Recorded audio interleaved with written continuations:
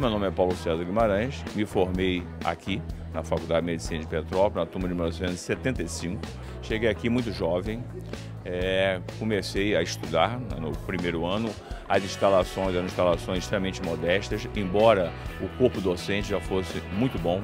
Basta dizer que quando eu me formei aqui na faculdade, eu fiz um concurso para o Ministério da Saúde e tirei primeiro lugar e porque posteriormente eu fiz residência no fundão, residência na UFRJ, já que eu escolhi a pediatria. Então a residência foi no Instituto de Puricultura e Pediatria Matagão Gesteira.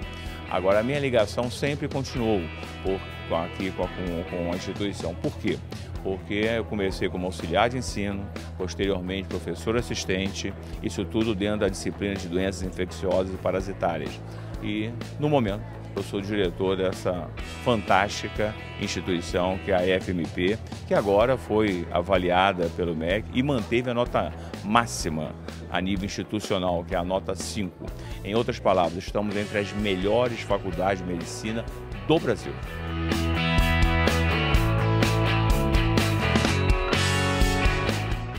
Eu era um filho único, tinha o meu quarto lá no apartamento da Tijuca, da minha família, e vim para cá.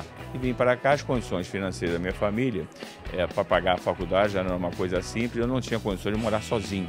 Então eu passei a morar com oito colegas. Nós éramos nove numa casa. Você imagina, nove pessoas, numa faixa etária de 17, 18 anos, no máximo 19, sozinhos em Petrópolis, dentro de uma casa. Mas isso foi um divisor de águas na minha vida. Eu saí de um local onde eu era muito protegido pela família, pelas condições físicas, etc., e vim para cá, onde eu tinha que cozinhar a minha comida, o dinheiro era restrito, então as coisas realmente mudaram, mas isso foi muito importante. É, eu acho que uma boa parte da minha vida, o que eu sou hoje, começou ali. Eu fiquei muito mais independente, resolvendo problemas que eu não conseguia resolver anteriormente. Como eu tinha sido monitor de DIP aqui na, na faculdade, eu optei não só pela pediatria geral, como também pela infectologia pediátrica. E entrei no Comitê de Infectologia da Sociedade de Pediatria do Estado do Rio de Janeiro, onde eu estou há 15 anos.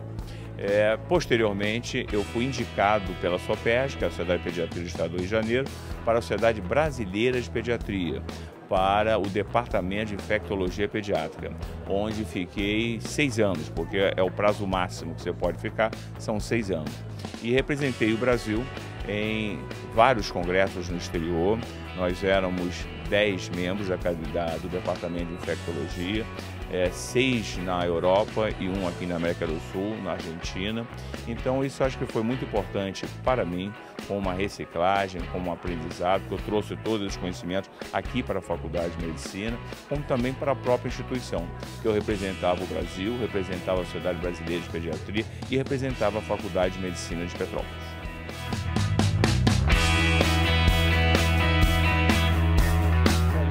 Não estou voltando porque eu nunca fui eu sempre mantive uma ligação muito grande com a FMP, mesmo quando eu estava no fundão, mesmo quando eu fiz mestrado, eu é, mantive uma ligação muito grande é, com a instituição. Agora, eu luto muito é, por essa, por, pela grande FMP. Nós estamos muito bem avaliados pelo MEC, então fazemos parte das melhores faculdades de medicina é, do Brasil e isso é realmente muito bom para todos nós, para os atuais estudantes, para as turmas que já se formaram aqui e para o futuro.